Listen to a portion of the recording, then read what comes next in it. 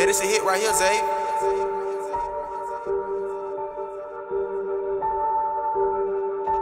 Kaz, why you drip so hard?